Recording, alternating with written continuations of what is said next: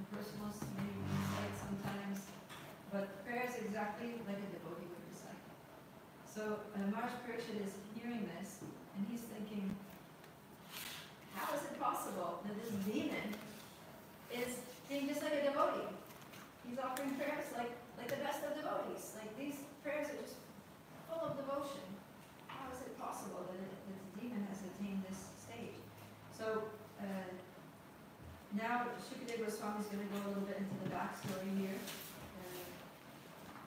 uh, about uh, King Chitraketu and how he was cursed uh, in his previous life and uh, how he became Vritrasura. But see, the question here is uh, chapter 14, which is our chapter for today, starts off. King Parikshit actually asking this question. O learned Brahman, demons are generally sinful. This is text one. Being obsessed with the modes of passion and ignorance, how then could Vritrasura have attained such exalted love for the Supreme Personality of Godhead, Narayan? Text two. Devotees situated in the mode of goodness and, great saints cleansed of dirt of material enjoyment hardly ever render pure devotional service at the lotus feet of Mukunda. Therefore, how could Vritrasura have become such a great devotee? So he's saying it's very rare, even for people in the mode of goodness, even for great saints who have given up material enjoyment, it's, very difficult for them to come to the stage of pure devotional service that we observed in Vritrasura. In this material world, there are as many atom, living entities as atoms. Among these living entities, a very few are human beings, and among them, few are interested in following religious principles. You see that, right? few people are actually interested in following religious principles. Next four. O oh, best of the Brahman Shukadev Goswami, out of many persons who follow religious principles, only a few desire liberation from the material world. Among many thousands who desire liberation, one may actually achieve liberation, giving up material attachment to society, friendship, love, country, home, wife, and children. And among many thousands of such liberated persons, one who can understand the true meaning of liberation is very rare.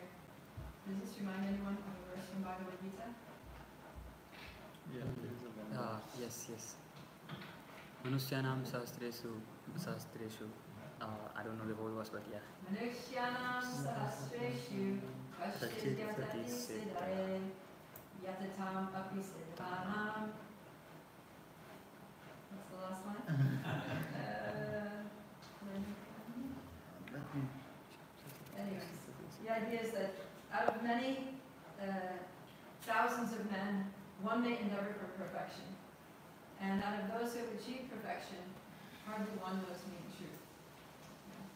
So it's very similar here. So Bhagavatam and Bhagavad Gita are very alike, right? Same points are being repeated. So this is what the focus of this class is today, is the rareness of devotees. How uh, exalted and uh, rare devotees are in this world. And even amongst human beings which are already rare, there are a few who are in the mode of goodness. And out of those in the mode of goodness, a few aspire for liberation.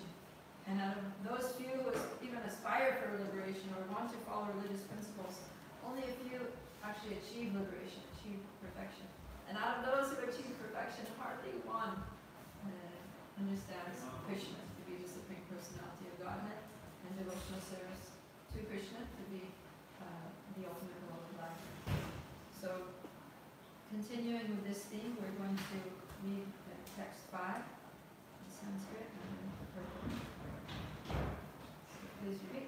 भुक्तानामपि सिद्धानां मुक्तानामपि सिद्धानां नारायणापरायणः नारायणापरायणः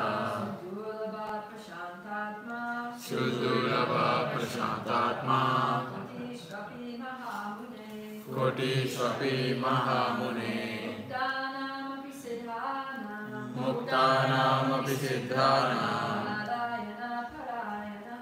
नारायणापरायणः सुदुर्लभा प्रशान्तात्मा कोटिष्वपि महामुने मुक्तानामपि नारायण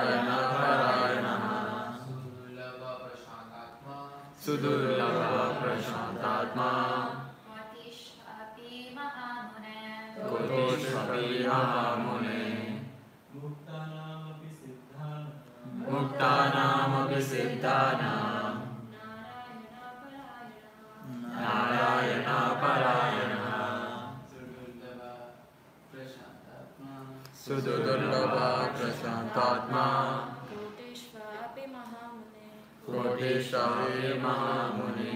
मुक्तानामपि सिद्धानां मुक्तानामपि सिद्धानां नारायणपरायणः। नारायणपरायणः। सुदुर्लभा प्र प्रशान्तात्मा। सुदुर्लभा प्रशान्तात्मा। कोटीश्वरीय महामुने। मुक्तानामपि सिद्धानां नारायण परायणः सुदुर्लभ प्रशान्तात्मा कोटिष्वपि महामुने So let's do the word for word here all together. Muktanam of those who are liberated during this life, who are unattached to the bodily comforts of society, friendship, and love. Api, even Siddhana, who are perfect because they understand the insignificance of bodily comforts. Narayana Parayana, A person who has concluded that Narayana is supreme, Sudurlabha is very rarely found. Prashanta, fully verified, Atma, whose mind, Kotishva, out of infinite mysteries, Api, even, Mahamune, O great sage. Translation and purport by His Divine Grace, A.C. Bhaktivedanta Swami Srila Prabhupada. O great sage, among many millions who are liberated and perfect in knowledge of liberation, one may be a devotee of Lord Narayan or Krishna. Such devotees who are fully peaceful are extremely rare. So, please read the first paragraph from the purport. Yes. Srila Vishwanath Chakravarti Thakur, Thakura gives the following purport to this verse. Simply desiring mukti or liberation is insufficient. One must become factful, factually liberated. When one understands the futility of materialistic way of life, one becomes advanced in knowledge and therefore he situated himself in the Vanaprastha order unattached to family, wife, and children. One should then further pro- progress to the platform of sannyasa, the actual renounced order, never to fall again and be afflicted by materialistic life. Even though one desires to be liberated, this does not mean he is liberated. Only rarely is someone liberated. Indeed, although many men take sannyasa to become liberated because of their imperfections, they again become attached to women, materialistic, material activities, social welfare, work, and so on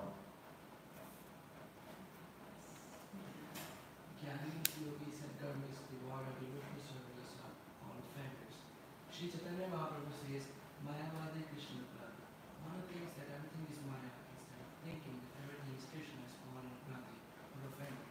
Although the Mayavadis, impersonalists, are offenders at the lowest spirit of Krishna, they may nonetheless be counted among the Siddhas, those who have realized the Son.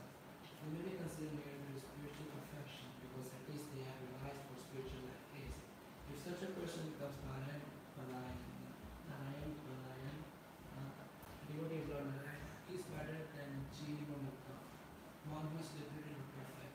This requires high intelligence. There are two kinds of gyanis. One is implied to devotional service and the other to impersonal realization. Impersonalists generally undergo great endeavor for no tangible benefit. And therefore it is said that they are husky, paddy that has no grain.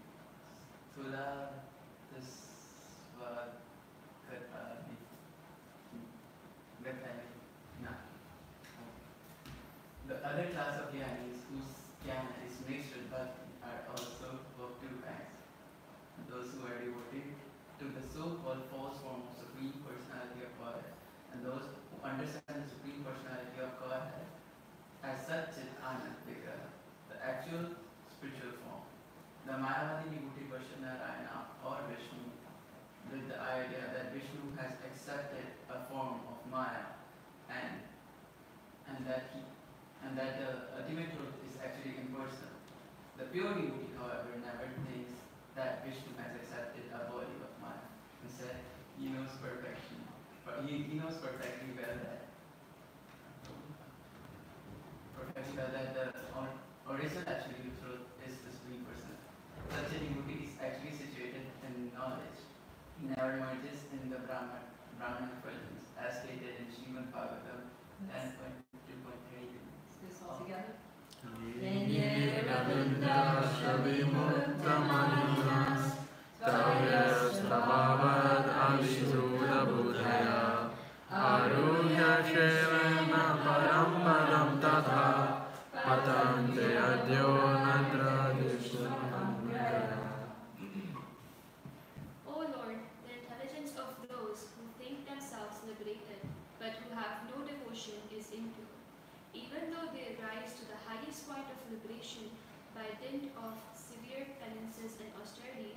they are sure to fall down again into material existence, for they do not take shelter after those. Evidence of the same point is also given in Bhagavad Gita 9.11, wherein the Lord says,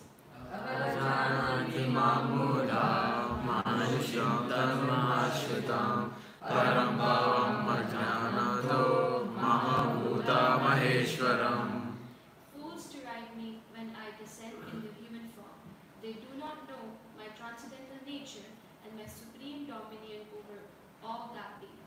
When rascals, Buddhas, see that Krishna acts exactly like a human being, they deride the transcendental form of the Lord because they do not know the Param Bhava, his transcendental form and activities. Such persons are further described in Bhagavad Gita 9.12 as follows. Moga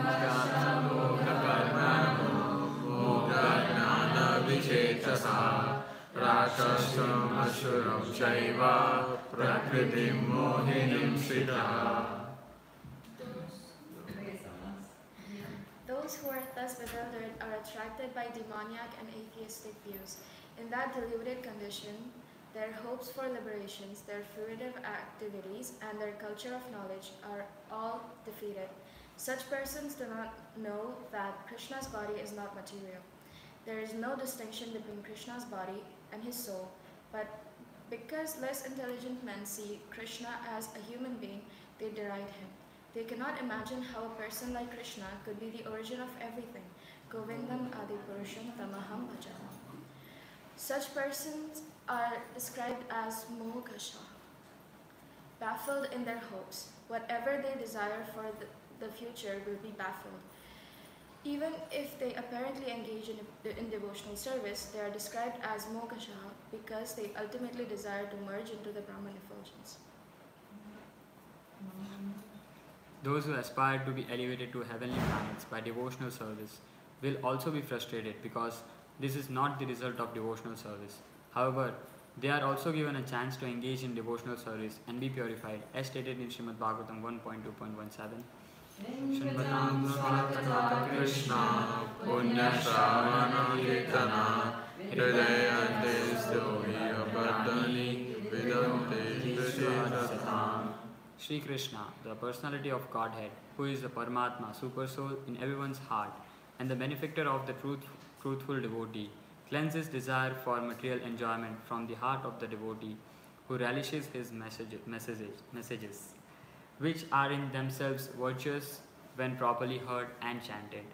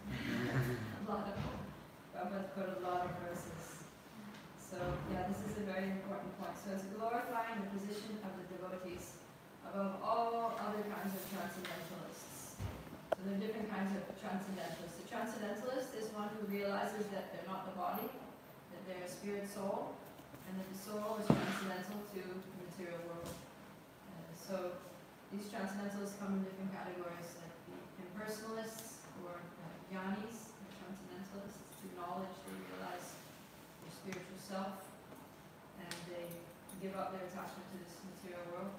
And then there are the yogis, who go through the different stages of Ashtanga yoga, and they meditate on the Lord within the heart, and they realize that they're also spirit soul, they're situated in the heart, and they have nothing to do with this material world.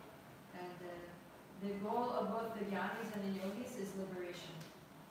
But the bhaktas, the devotees, uh, they also, we also realize that we're not the body, uh, that we have nothing to do with this material world, but we take it a step beyond that, right? It's not, our goal is not just to become free from repeated birth and death and free from the miseries of this material world, but our goal is to serve Krishna.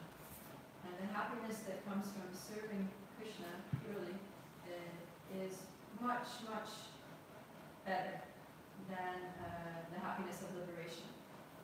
There's three kinds of happiness. Happiness from material sense pleasure, happiness from impersonal liberation, and happiness from pure devotional service. So the happiness from material sense gratification is compared to a drop of water in the desert, Prabhupada says. So if you're in a desert, it's hot, it's dry, you're parched and you know dying of thirst, and then you get a little drop of water in your hand. and you get some hope that, wow, I have some water here, this is gonna save me. But before you can even sip the drop of water, it evaporates because it's so hot and dry in the desert.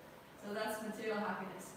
There's some glittering, you know, some hope, maybe some promises that if you do this, if you get that, if you go there, if you, you'll be happy. But we don't even, we never taste it. You know, never taste it. It's just, it's just the hope. It's like the carrot, you know, in front of the dog. The donkey's walking, trying to get, I'm gonna get that carrot, I'm gonna get that carrot. And he's working like an ass, walking all day, carrying heavy loads, and he never gets the carrot. And he doesn't, and he's got these blinders on, so he doesn't see that all along the roadside there are lush green fields, you know, and if he could just stop chasing that carrot, he could enjoy all kinds of food there. so that's uh, the ridiculous situation of someone who's chasing after material happiness. So it's a very low standard of pleasure. And so the drop of water in the desert. Then the happiness of liberation, the Brahman, Brahmananda, uh, is compared to the water that's contained in the hoof print of a calf. So like a calf is walking along the field and it's a, there's some mud there, then the foot sinks down, its hoof sinks down to the mud, and then the rain fills up that little hoof print, and uh, that's the amount of water. So it's a little better than a drop. It's something, uh, but it's not much, right? It's not much at all. Compared to material happiness, it looks amazing because there's so many drops in that like, wow, it's practically unlimited compared to material happiness. So impersonalists, they get very uh, excited about the happiness of Brahmananda because compared to material happiness, it's like, wow, this is next, this is like the next level, this is the ultimate happiness. But uh, the happiness that is available to a loving relationship with Krishna and rendering pure devotional service to Krishna is like an ocean. so what to speak of the drop, what to speak of even the water in the footprint of a calf, whole ocean. It's like unlimited, ever increasing uh, happiness of pure devotional service. So that's what these jnanis and uh, yogis and materialists don't know. They don't know that there's this amazing higher standard of happiness which is unlimited and which goes on increasing forever. So that's what anybody who's truly wise in this world is searching after. And uh, we experience that happiness by giving happiness to Krishna. And that's the secret to happiness. When Krishna is pleased, then we'll be happy. So this uh, Sudurlabha, very rare, is one of the, is a characteristic of devotees. And it's a characteristic of devotees and only devotees. Because materialists are like a dime a dozen. Very common, right? Uh, even those who have attained liberation from the material world, uh, they're a little more rare, but still, there's many of them, and there's all different kinds of them, right? We were just talking about the, the personalists, the, the yogis, jnanis. So, in pure devotion, the three different, uh, the six characteristics of pure devotional service are given. And so the first two, the two that appear at the stage of sadhana bhakti, does anyone know what they are? Bhakti Shastri?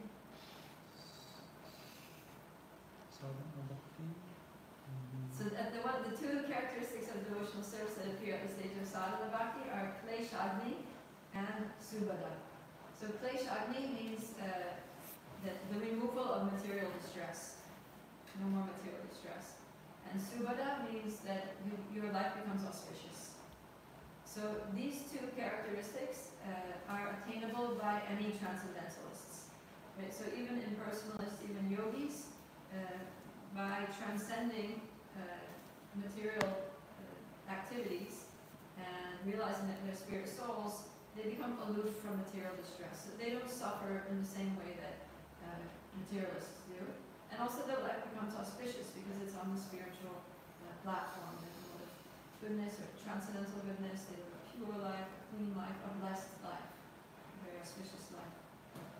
But then it's not until the stage, and devotees also, right? Devotees also. So these are the, we experience these at sad, the beginning of sadhana bhakti, that we get free from uh, material miseries to a large degree. Many of us are suffering a lot, and that's actually what brought us to Krishna consciousness, is like realizing the miseries of this world.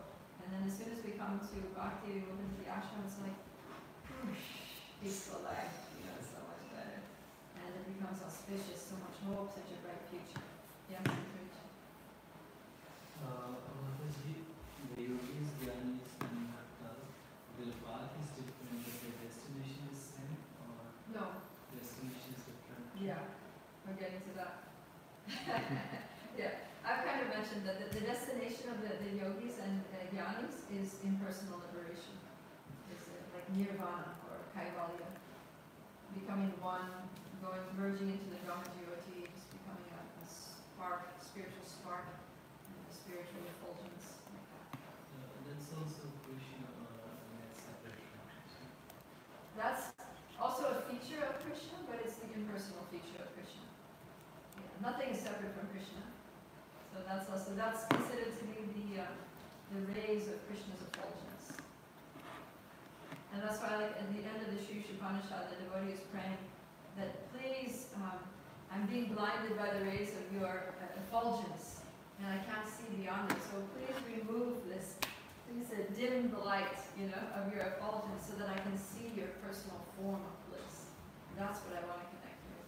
This uh, effulgence of the Lord, is, it's getting in the way. It's like, you know, just like, clear that out so that I can see you, the source of the effulgence, personal, transcendental form Govinda, that I can serve you. So those are the first, first two characteristics of pure devotional service any transcendentalist will experience. But the next two that occur at the stage of Bhava Bhakti, when the devotee starts to experience some emotion for Krishna, some emotional connection to Krishna, are the two stages are Moksha Laghuta Krit, which means um, no attraction to liberation. It just derives the whole concept of liberation. In other words, a devotee is not interested in liberation. So this is, yeah, the goal of the jnanis and yogis is to get liberation from the material world.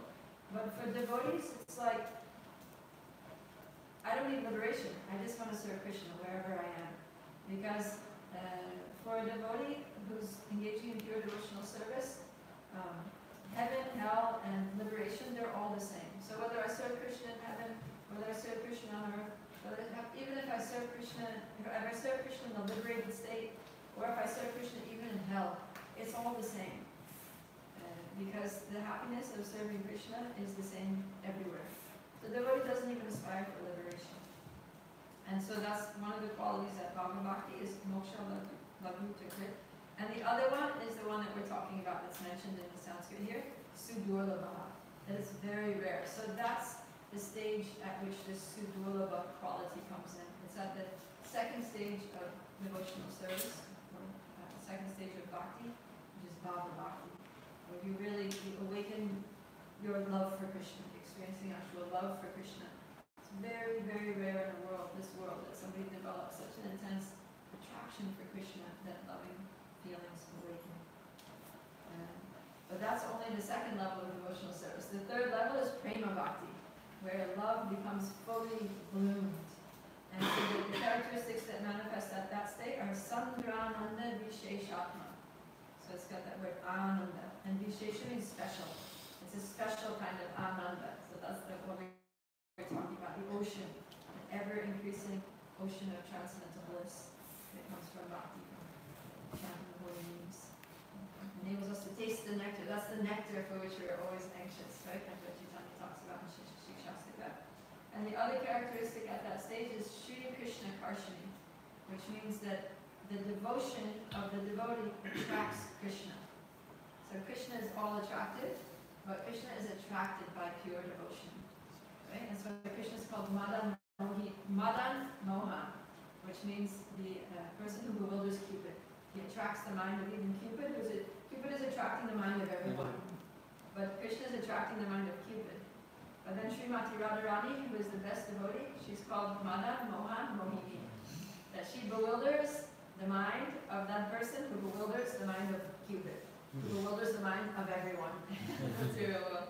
So uh, the position of the devotee is so exalted that the, that the devotion, pure devotional service at the stage of Prema Bhakti attracts even Krishna, Sri Krishna Karshana. So that's very, very rare. Like even Bhava Bhakti is Sudurlabha, is very rare. So Prema Bhakti is Su Sudurlabha, very, very rare. And so that's our goal. That's our goal. The Gyanis and the impersonalists, the yogis, they're going for liberation. We're not interested in liberation. We're interested in pure devotional service. We're interested in uh, having pure love for Krishna, and engaging in six loving exchanges with Krishna and his pure devotees in the spiritual world. Yeah. And interesting that even Gyanis and yogis, some of them, they actually perform devotional service, but uh, as a means to the end of liberation. And they just they just take it as the means. Uh, but the, the, the result that they're trying to achieve through the means of devotional service, like worshiping the deity, chanting mantras, and like that, is liberation. So at the end, uh, Prabhupada gives this example that um, they climb a ladder uh, to get to a certain, you know, to get to the, the roof of the building, and when they get to the roof, they throw away the ladder. They don't need the ladder anymore because they're there, right? The ladder is useless when you've already gotten there, and they don't want to go back down, they just want to stay there. So, um, you know, gives that example that they use devotional service like a ladder, but when they get to liberation, they throw away, they, they stop doing devotional service. One time Prabhupada did a very dramatic illustration of this uh, when he was with his devotees. They were in Mayapur and they were walking near the Ganga. And so they walked up this, they were going up, they had to get up this embankment. So one of Prabhupada's disciples uh, uh, was, uh, he was holding his hand, he was standing on the top of the embankment and he went up there quickly to, to be able to offer his hand to Prabhupada to help him up. And so Prabhupada got his hand and then the devotee, like Prabhupada was walking up, the devotee was pulling him. And when, as soon as Prabhupada got to the top of the, uh, like the top of the, the bank, then he, he, he was still holding the hand of the devotee, and he went, and he threw the devotee down. And the devotee was like, he was like lying on his back on the ground down there, like, like what the heck, Prabhupada? he didn't say that, but he was like, why? You know? And Prabhupada said, this is what the, the Mayavadis do. this is what the Mayavadis do. They use the spiritual master, they use the process of devotional service to get to an exalted platform, the transcendental platform, as soon as they get there, they kick him away. They throw him away. They don't. They think they don't need him anymore. So it's very. You can see how it's very offensive. That's why Prabhupada says that these uh, these uh, Mayavadis, Mayavadi Krishna Aparadi, right? The Mayavadis are offensive because they they offend Krishna by just basically exploiting the process of devotional service and then rejecting it as if it's useless. Uh, there is this pastime of uh, in Krishna book where Krishna goes to the Brahman's home and Mhm. they're doing some of the sacrifices and they you know, like give like give Krishna anything and then Krishna goes to the wives. Yeah. So the, like the process that they're performing is actually uh, They're doing karma kanda. um, so Yeah, they're doing like karma kanda to get material results. So they're not interested in Krishna, they're just interested. Yeah, I mean, that's like even lower class of people that they're just, they're just materialists. And they make use of the Vedic literatures to try to get material. But just in general, even materialists, jnanis, yogis, they're not interested in Krishna. Right? They're just not interested. And most people are, are, like that. They're, um, it's like, uh, yeah, one time I was asking a question that, you know, there's so many Christians, they're approaching uh, God, they're praying to God.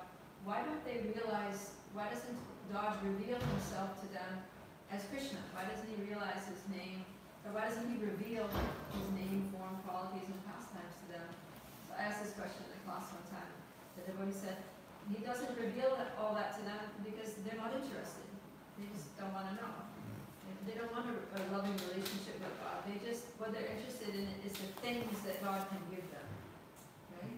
And actually, I was just, uh, the other day, I was chanting in the temple room upstairs and I was reading some of those little papers that, you know, devotees offer to Jagannath, and it's like, it was actually like kind of discouraging because uh, a lot of them, most of them, or at least half of them, I didn't read all of them, but many of them would say, I just, you know, dear Lord, please, you know, I hate my job, please do me a better. I really want to have a job, can you please do that for me? Or, you know, it's just like material requests. One of them says like, I want to start gym again. Gym, going to the gym. Yeah, so it's just like, come on guys. Here's the Lord, He can give you liberation, He can give you pure, pure service, He can bring you back home, back to Godhead, and you want to go to the gym. You just want. It's like, it's like, um, it's like this, uh, uh, this, uh, this man who's carrying a, a- big, it's a woman, she's carrying this big bundle of sticks. You see, if you go to India, you see village women, they'll go to the field and collect so many sticks and they'll be carrying them to use for their cooking and all that when they get home. She's got this huge bundle of sticks and she's walking and then she trips and she uh, stumbles. She doesn't fall, but she stumbles and she does her balance and the sticks fall off her head. So the, the bundle was so heavy that uh, she, there was a bunch of women that were helping it get sticks and so the the ladies help each other to get the sticks up there um, and then they walk to their respective you know, homes. So, but she was, now she was alone and she was like, oh no, I, I can't get them back up on my head, I can't carry it another way. So then, actually, the, the Lord appears to her and he's like, oh, I'm, I'm so pleased with your, your piety and your, your dutiful attitude towards your family and your cooperation amongst the other women here in the village, and I'd like to give you a benediction. So the Supreme Lord says she could ask any benediction. She could ask, you know, for pure love for Krishna. She could ask to go back home, back to Godhead. She could ask for anything, you know, uh, imaginable. And she says, Dear Lord, thank you so much. You're so kind, so merciful uh, to appear before me at this time of need. Yes, the benediction that I ask is, can you please just put this bundle of sticks back on my head? so it's like, it's like, we're so short-sighted, you know, we're so just uh, entrenched in the material world that, we're- can't even think beyond it most of time. So that's our unfortunate position. So another, yeah. So, um, you mentioned about like how Prema is very very Mhm. I'm not able to recall, but I've read somewhere there are two types of Prema Mhm. and and out of them, like, which one does what? Yeah, so there's uh, Prema Bhakti, there's uh, Kevala Prem, and then there's Aishvarya, uh, something like what's it called? Aishvarya, hmm. Another word there. Aishvarya Jnana Prem. Yeah, Aishvarya, yeah, Kevala Prem and Aishvarya Jnana Prem. So both are love for Krishna, uh, but Aishvarya Gyan Prem means that your love is uh, mixed with knowledge of Krishna's opulence. That you, uh, this is like the love of the uh, inhabitants of Dwarka. That they love Krishna, they have their family members, the queens of Dwarka, the sons and grandsons of Krishna, the other residents like Uddhava and Dwarka. Uh, they love Krishna for sure. It's not just on reverence, but their love is tinged with, with, uh, they, they're, they're, they love Krishna at the same time they're aware that he's the supreme personality of God. So Aishwarya means opulence and Jnana means knowledge. So they know about Krishna's opulences, about that he's all powerful, that he's all knowing, that he's the supreme controller, that he's, you know, uh, the lord of all planets and demigods. So that's one type of love. And then Kevala Prem is, Kevala means only. It means alone. So it's just prema.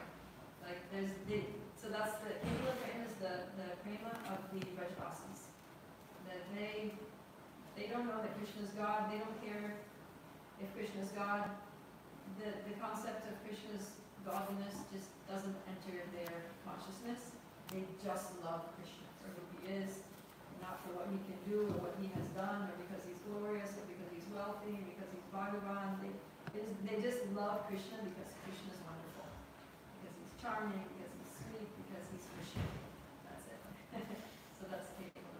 The second, the second one is Mahim Jnana Yukta Prema. Yeah, like that. Yeah. Good. So, uh, we, you know, we Bhagavatam, like Krishna has so many weapons that he's so free, and we are practicing sadhana bhakti right now. So what? So let's let's say Lord is very serious, and I was your spiritual master one day you get favor. So what will depend which type of requirement is it is on mood or it's like something that was Your own mood, yeah, own mood. Yeah, as you get to the higher s- levels of bhakti, then uh, you know your inherent uh, relationship with Krishna starts to manifest.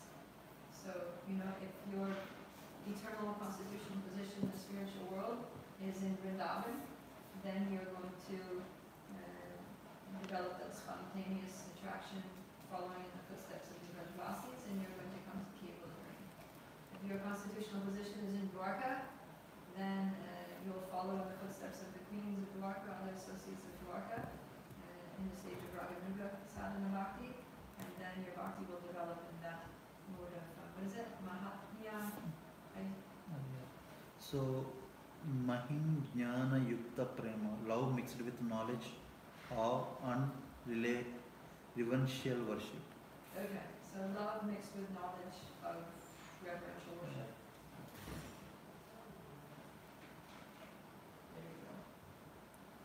There you go. Prem, unalloyed love, and Mahim Jnana.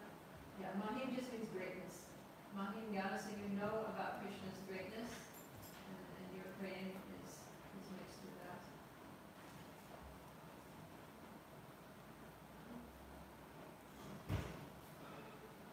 All right. So, yeah. So what about these materialists and people who are not really interested in Krishna, but these devotees, to people who come to the temple and uh, Lord Jagannath's blessings to, you know, go to the gym or get a, a nice new job.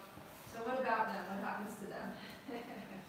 That's also okay, right? Krishna says that the chatur vida vajante mam jana supriti arjuna arto artarti jigyasi jigyas arto jigyasi artarti yani yani yani cha Bharatarshiva, yeah. And there are four kinds of people that approach him, uh, four kinds of pious people that approach him, and those who desire material things are are are okay. They're okay. Krishna says that they're okay. they're pious, and I uh, accept them. So also in Bhagavatam it says akama sarva kama va moksha kama vidarati tivrena bhakti yogena vijeta purusham param. That it doesn't matter what your desires are. You know, whether you have no desires, akama, whether you have all material desires, sarva kama, whether you're totally full of lust, lust and material desires, or whether you're moksha kama, whether you're desiring liberation like the and yogis. Don't worry about that too much. Just perform devotional service. Tivrena bhakti yogena. Just do intense devotional service and everything will be taken care of. Because like uh, Prabhupada was quoting in this purport, Srimvatam Swakata Krishna Punya Shravana Kirtanam Vidyantos Vidyantasto Hilabrani Vidunoti Sivisitam. That if we just somehow or other approach Krishna, associate with devotees uh, who speak about Krishna, hear about Krishna, hear Srimad Bhagavatam from pure devotees, then all those material desires, everything that's inauspicious within the heart, will be automatically uh, removed by the mercy of Krishna. Because Krishna is in the heart and he cleanses the desires for material enjoyment from within his heart. So, uh, and those people gradually become devotees, like uh, Dhruva Maharaj, right? He was full of material desires. He also wasn't interested in Krishna at all. He was just interested in getting a kingdom. But by good fortune, he met a devotee, Narada Muni, who said, okay, you have this material desire, If you want to fulfill it, this is what you do. Worship Krishna. Chant the names of Krishna. and so Dhruva Maharaj was like, all right, I'm going to do this. I'm going to get my kingdom. So uh, he did all those things, and he got his kingdom, and he also got pure devotional service.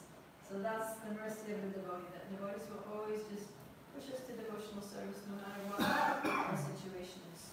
There are, many, there are many examples of materialists who became devotees by meeting a devotee. There are many examples of impersonalists who became devotees by hearing from devotees. And even Mayavadis who became devotees, like Prakashananda Saraswati was the leader of the Mayavadis in Varanasi, and he met Lord Chaitanya, and Lord Chaitanya spoke to him about Krishna consciousness, about bhakti, and he became a devotee. Sarvabhauma Bhattacharya was a big impersonalist living in Jagannath Puri, and by the mercy of Lord Chaitanya, he also became a devotee.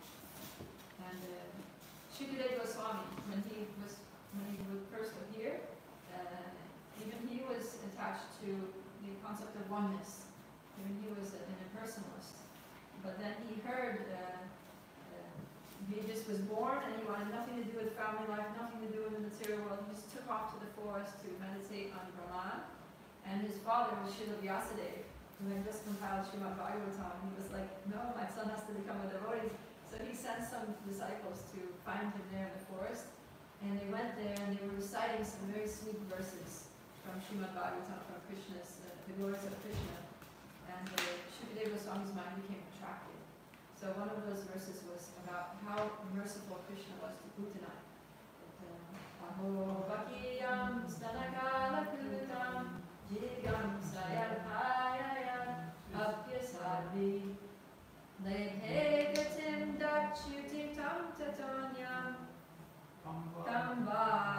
dayalum sharanam rajema.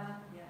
So he says, how can I take her, uh, shelter of someone more merciful than Krishna, who gave uh, this she demon, this demoness who came to kill him, uh, the, a position in, in Goloka Vrindavan as his nurse, uh, assistant to Mother Yashoda, taking care of baby Krishna. it's like, so she came to kill him. She had no intention to serve him. So you see that from this, that the quality of Krishna is that he overlooks all the faults. You know, we can have a million faults. Krishna doesn't care. If we have one little tinge of, of, of devotion for him, one little tinge of a desire to serve him, he sees only that, and he founds the spark of that good quality, and he takes us back to Godhead just by dint of that one tiny little, little uh, whiff of a good quality, like Putana. Because when she picked up Krishna to feed him, she was just like, oh, he's so beautiful. and, she had, and she had a tiny little hint as she was trying to kill him. Even while she was trying to kill him, she had a little hint of motherly affection. And so Krishna gave her a position like, like a mother, motherly affection, spiritual. So this, uh, this instance proves the glories of devotional service, proves that, it's, that uh, Krishna's pastimes, uh, hearing about Krishna, it's higher than liberation. Because even liberated personalities like Shukadeva Goswami are attracted to hear the pastimes of Krishna. There's that famous verse. Atmaramas chamunayo nirgranta apyurupkrame kurvantya tukim bhakti itam bhuta guno hari that um, Atmaramas, even liberated people who are totally satisfied in self. They're self-realized, they want nothing from this world. Nirgranta means they have no interest in this material world. Uh, but even they perform a Haituki Bhakti. They perform un, un, unalloyed devotional service. Why? Because Itam, itam Bhutam uh, Guno Hari. Because Hari, Lord Krishna, has such wonderful qualities. Itam Bhuta means uh, wonderful, such wonderful guna qualities. They're just attracted to the wonderful qualities of Krishna. So, uh, the beginning of Nectar Devotion, uh, Srila Prabhupada talks about how Sanatan Goswami, when he uh, he came to the liberated, he had asked this question to Lord Chaitanya. He said that after liberation, what what is to be done? You know, what are the activi- activities in the liberated state? Because liberation basically means, if you think of like a, uh, like a thermometer, right? So here's zero, freezing point, right? And so negative, all the negative numbers below zero, that's like, um, Or let's say, no, let's not use it. Let's say, um, let's say, okay, let's say the zero point represents like being healthy, like a healthy person, physically healthy person. So if you're sick, then you're below healthy, right? You're a little sick, quite sick, very sick, extremely sick, dying, right? okay, so in those stages, all these stages below the line here, you're suffering. So this is material life, right? Material disease, some people are more suffering more, it's all relative, but there are all degrees of suffering. So liberation means you come to the zero, right? You come to, uh, you're not suffering anymore. But, but you're also not really like doing anything, you know? You're just kind of like in this uh, limbo state of, okay, material life is over and I'm a soul and I'm happy being a soul. But what, so Sanatan Goswami says, when you get to that point, then what? Like, then what? Then what do you do? And then uh, Lord Chaitanya says, yes, that's when devotional service begins. So then you start serving Krishna in different ways, and you become active on the spiritual platform, and then it's not just that you're not suffering anymore, but you're actually experiencing ever increasing bliss as you advance in devotional service. Yes. Uh, Mayavadis, uh, they also have gurus and they are also surrendered to the gurus and they also do have, have the service mood. So they don't know who exactly Krishna is, uh, but indirectly they are supporting him only. Yeah. Well, the thing is, the Mayavadis, they, they, they know about Krishna, but they think that Krishna is an ordinary person. That's what Prabhupada was talking about. They think that when Krishna comes to this world, they think that th- this, the supreme, the ultimate truth is Brahman. And, but sometimes Brahman takes on a temporary human form, a temporary material human form, like we have temporary human body, material human bodies, and performs pastimes in this world to attract, you know, people who need some material thing to relate to, and then they get interested in Krishna, and, but ultimately they realize that uh, they are one with Brahman, and that that's the goal of life, and they don't need. That's the Mayavadi conception. That's why it's offensive, because they think Krishna is an ordinary person, and that, and we, you know, make use of Krishna, we worship Krishna while we're, you know, becoming uh, purified and getting free from Maya, but then in the end, we don't need Krishna. We don't need anybody, we're just Narayan ourselves. practically. And also uh, Dhruv Maharaj, uh, he did not have materialistic desires, or just like his materialistic desires were not for sense gratification. It was like he was disrespect, disrespected by his mother and father. Just wanted to have the same, the love that he deserved, Yeah. the respect that he deserved. Yeah, but it was still a material desire. Not necessarily that he wanted the comforts and that, but he wanted the fame, he wanted the position, he wanted the recognition that he was great, right? He was insulted, he was personally insulted. And he wanted to prove to them that I'm, you're pushing me off your lap, thinking that I'm unqualified. No, I'm the most qualified. You're gonna see that I'm the most highly qualified. Even, I'm gonna have a position greater than my father, greater than even my grandfather. That was his motivation. It was it was like a out of pride. You know, Kshatriya pride. So that was a subtle, you know, there's gross material desires and subtle material desires. So that was a subtle material desire, but still material. But by following the process given to him by Narada Muni, then he got purified of his material desire. To the extent that when Lord Vishnu appeared before him, he felt ashamed of himself for ever having had that desire. And he said, you know, I was approaching you for, for pieces of broken glass, but you could give me a diamond. So please, I don't want that anymore. Just give me pure devotion at your lotus feet. So that's the power of bhakti. That, and that's why I advise that even if you do material, just worship Krishna, just perform bhakti yoga, because those things will go away. And you'll just have, what will remain is your inherent pure devotion for me only, and then you'll obtain the goal of life. So, yeah, so many, we've seen how many personalists become devotees, but devotees never become personalists. We don't see any examples of devotees becoming a personalist. Because once you've tasted the bliss of bhakti, you just can't go back to that dry, stale, know, lower um, level of happiness. And so there's this very nice verse from Prabodhananda Saraswati. He says, um, Kaivalyam narake tridasha, wait, Kaivalyam narakayate tridashapur akasha pushpayate Durdantendriya kala sarpapatali Pravatkatadamstrayate Sukhayate vidimahen Radishchatkitayate Yakarunyakataksha vaibhavatam Tam gorameva stuma So it says Kaivalyam narakayate uh, means oneness, means the impersonal liberation, and Naraka means hell. This is for a devotee. So these are all characteristics of, uh, Yat Karunya Kataksha, uh, one who has received the merciful glance of Lord Chaitanya.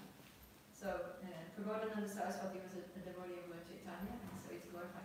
Then one who has received the merciful glance of Lord Chaitanya, this is uh, the mentality. That Kaivalya Narakarte, the, the, the concept of impersonal liberation is like hell. I'd rather go to hell and serve Krishna there than to go merge with Brahman. and then Sri Dashapur Akasha Pushpayate. The, the, the heavenly planets of the demigods uh, are like uh, flowers in the sky.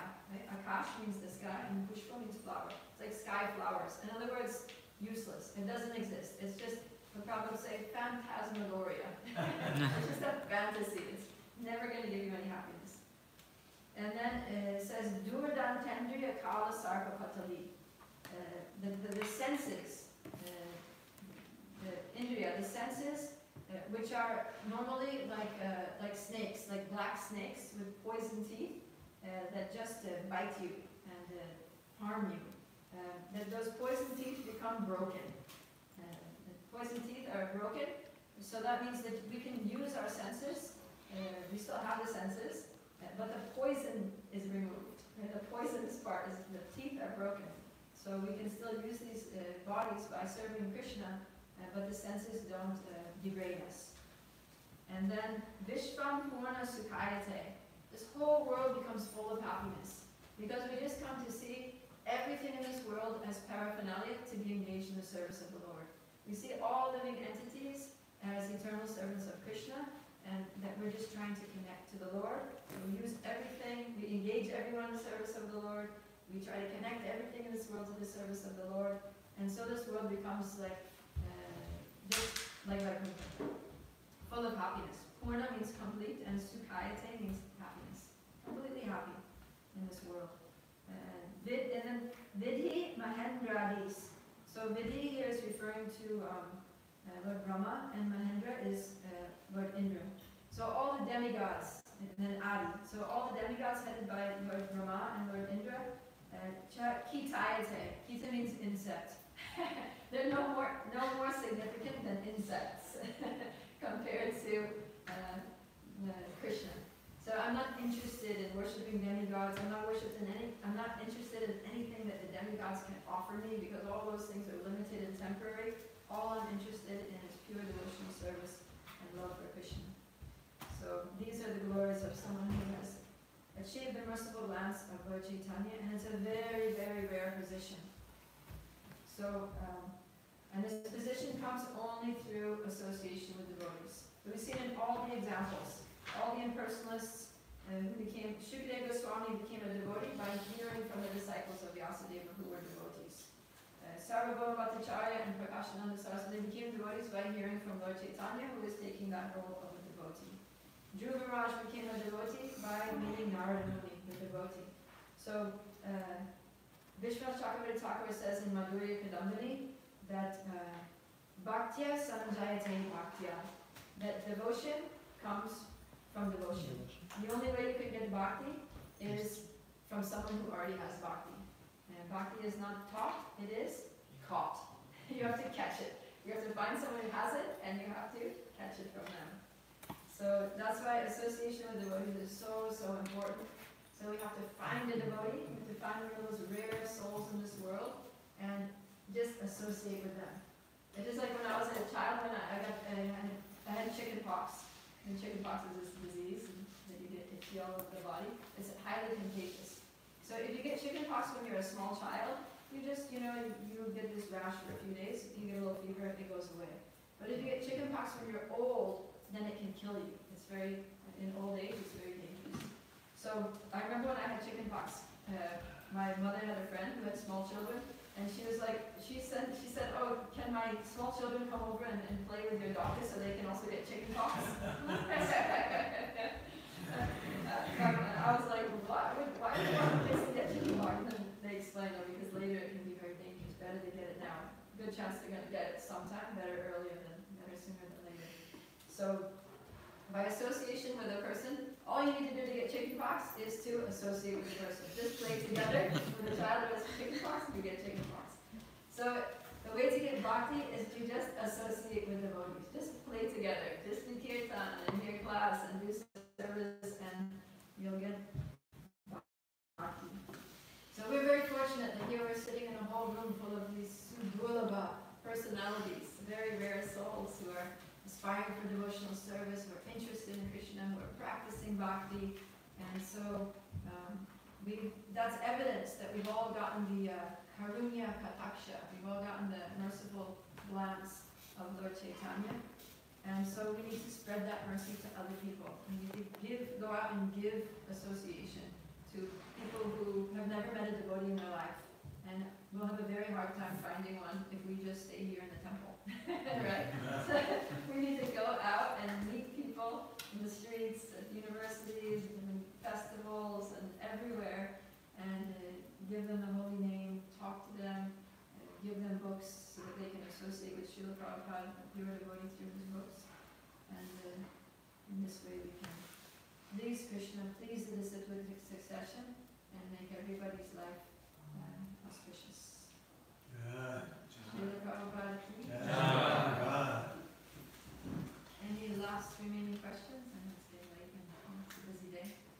there is a question from uh, broadcasting. Okay. One of the devotees was asking like, how can I increase my bhakti? So like you covered that. Now you know, associate with devotees, engage in devotional service, and give Krishna consciousness to others, and then we get the merciful glance of bhakti time. Hare Hare